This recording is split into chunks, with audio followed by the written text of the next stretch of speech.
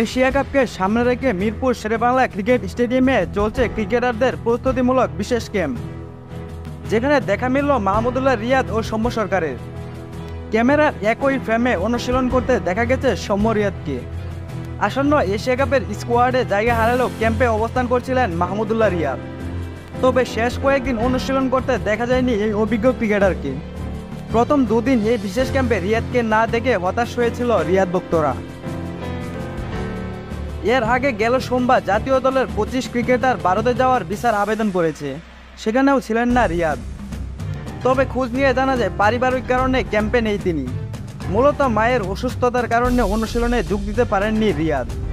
তবে আজ বুধবার ব্যাকআপ ক্রিকেটারদের নিয়ে গড়া অনুশীলনে যোগ দিয়েছেন রিয়াদ। মিরপুরের মাঠে তাকে দেখা গেছে ফিল্ডিং অনুশীলন করতে। এদিন অবশ্য বেশ হাস্য উজ্জ্বল অবস্থাতেই দেখা গেছে রিয়াদকে।